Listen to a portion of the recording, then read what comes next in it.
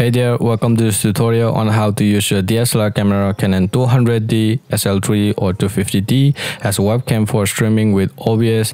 I know a lot of you guys have been struggling to get your Canon 200D Mark II to work as a webcam due to incompatible software Canon EOS webcam utility, but don't worry, I have covered you with the right solution or right method that should work for you.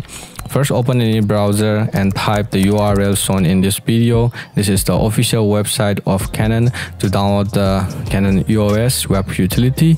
Scroll down a little bit and you will see all the compatible software product including um, Canon 200D and 200D Mark II.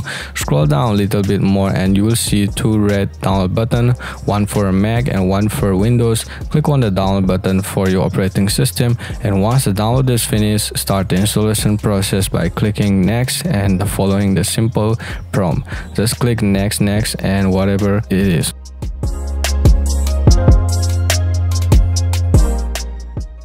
Now let's move on to the camera itself. Here is the Canon 200D Mark II. First remove the cap and turn on your camera but make sure you set the switch to movie mode. Most of you set it to the on mode and hope it will work but it will not work unless we set it to the movie mode. Next, we need a micro USB cable to connect the camera to the computer. You can easily find this cable if you have an old Android phone lying around. Connect one into the camera and the other to your computer. Once we connect it, we can use it as a webcam.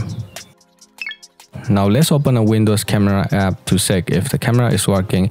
If it is, then we can dive into the OBS and start configuring the setting to use it as a webcam. First click the plus icon on the left bottom corner to add a scene and name it whatever you like. Then click the plus icon on the right again and select the video capture device. Click OK and you will see the EOS webcam utility option. Select it and click OK again. And now you are done. You can adjust the screen as per your preference. That's it. You can use your Canon 200D Mark II as a webcam with OBS. Thank you guys for watching this video. I hope this video found helpful. If you did, then please give it a thumbs up and subscribe to the channel and see you in my next one. Peace.